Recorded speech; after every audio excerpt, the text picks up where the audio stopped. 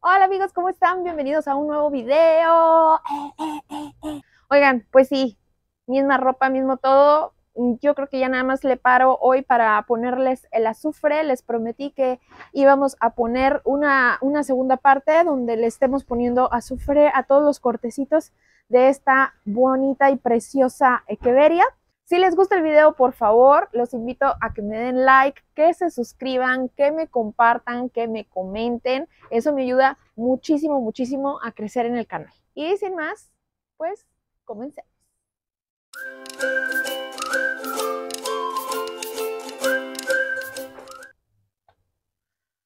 Ok, esto vamos a hacerlo de manera que sea rápida. ¿Cómo va a ser esta manera rápida? Les voy a enseñar. Aquí tengo el azufre.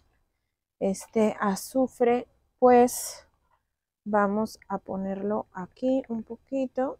Y de esta manera va a estar más sencillo. Como le vamos a hacer, lo único, pues es hagan de cuenta, agarramos nuestro esqueje y listo, ¿ok? Entonces esto repítase por muchas, muchas, muchas veces. Ahorita las acomodamos. Amigos, la verdad es de que no me di cuenta hasta que ya estaba editando que no se veía bien donde les estoy poniendo el azufre, pero más adelante se va a notar con mayor claridad. El azufre es un mineral que se consigue en tiendas especializadas de jardinería y que nos ayuda para la cicatrización de los cortes. Uf. Miren nomás. Dios mío, Dios mío, son muchas, son muchas. ¿Cómo ven? Está bien la embarrada, ¿no? O sea, la técnica milenaria del embarramiento del, del embarradón de azufre sin pincelito. Ustedes siempre me ven muy propia con pincelito, pero pues es que aquí el, esto lo amerita, amigos. Es un mineral antifúngico, por lo tanto nos previene la aparición de hongos, virus o bacterias en los cortes de nuestras suculentas. Son las que no sé cómo voy a acomodar porque miren, me quedan unas arriba de otras, pero bueno, así han estado todo este tiempo. A lo largo de este año y medio, así han estado. Oigan, díganme, les platico, esta suculenta, voy a levantar porque ya. Esta suculenta me la trajo mi esposo este, se acercó a un jardín donde las vio. Yo empezaba, yo empezaba con las suculentas. Ya tenía medio año, según yo, de coleccionista. Este, digo según yo porque tenía nada más como 10. Ay, miren, esta es la que es bicéfala. Tenía yo como 10 suculentas nada más. Entonces, este, llegó, o menos, ¿eh? Tenía como, no, tenía súper poquitas. 10 se me hacen un montón. Y llegó mi marido bien orgulloso con una suculenta que es la, la, planta madre, la más grandota de estas, que se me hace que es esta de acá. Este llegó con ella y llega el hombre así súper feliz. Me dice, mira lo que te traje. Y yo sí, la puse luego, luego en una maceta, yo súper feliz súper ilusionada con mi nueva suculenta. Este. Y amigos, que me empezó a dar un montón de hijos y ahí fue cuando dije, tengo que pasarla a una maceta grande.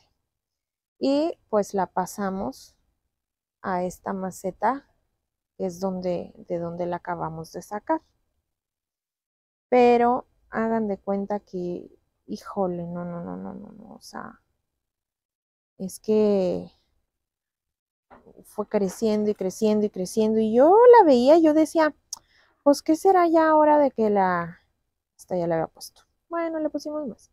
Dije, ¿qué será ahora de que ya la vayamos a, a, a cambiar de maceta y un amigo que es este un amigo de aquí de la ciudad de Chihuahua al que le he comprado varias de las suculentas de mi colección me decía no Ana déjala déjala todavía todavía puede estar más tiempo yo seguro y el sí todavía se puede todavía no no te preocupes y yo ok y hasta que se hizo este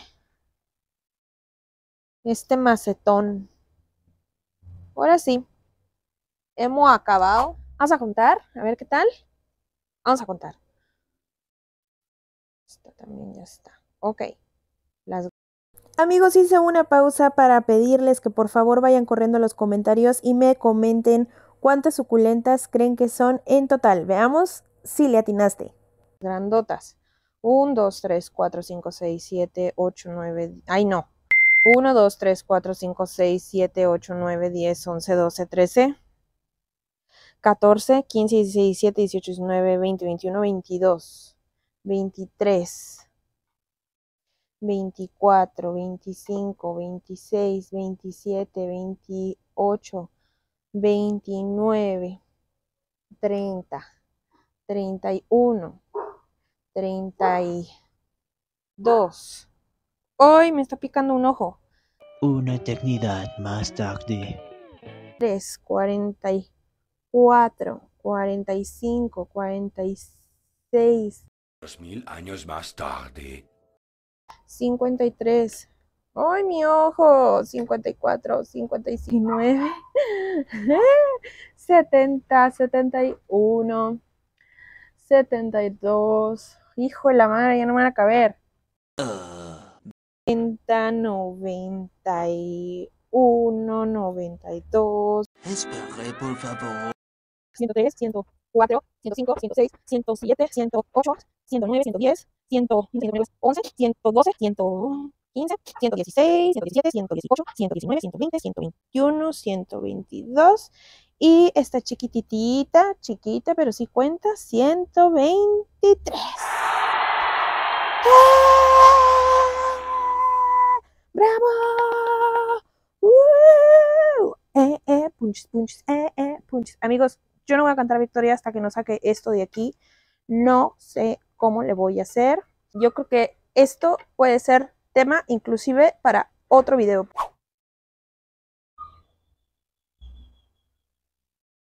Vean esta charola. No, no, no, no, no. Esto está increíble. Pero yo lo que quería enseñarles, quiero enseñarles, es que miren, conforme fui quitando la piedra, me fui dando cuenta, no sé si noten, miren. Ya vieron que se ven las raíces por encima del sustrato. Estas, estas son raíces. O sea, ya se comió todo el sustrato. A buen tiempo lo quitamos, ¿eh? A buen tiempo. Amigos, aquí decidí poner la cámara rápida de nuevo y grabarles encima de las imágenes para explicarles. Estoy quitando los tronquitos de los hijuelos, de los troncos, ahora sí que de la planta madre o de esos troncos que están un poco más grandes para que me salgan de nuevo hijuelos en esos troncos principales.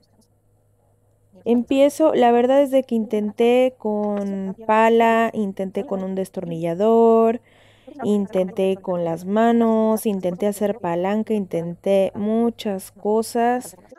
La verdad es que a la fecha no la he sacado de esa maceta porque estoy esperando a tener sustrato para ponerla en su macetón nuevo. Además de que me fue muy difícil, preciso la ayuda de una persona fuerte, fornida, y formal como mi esposo.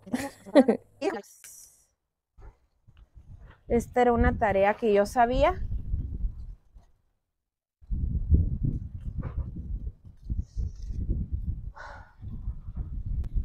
Está haciendo mucho aire. Yo sabía que esta tarea iba a ser difícil. Yo lo sabía. Así que mejor ni me quejo. Esta maceta la quiero volver a poner con los hijuelos. O sea, la voy a volver a poner con esta misma suculenta. Pero pues renovada. Ay, oiga, no sé si traigo mi ojo de mapacho. Ahorita me empezó a llorar el ojo bien feo. Discúlpenme si traigo un ojo de Kiss. De cantante de Kiss. Pero pues, como les explico, la jardinería no perdona, amigos. Así. Hago palanca. Si algo me ha enseñado mi trabajo profesional es en que haciendo palanquita todo sale.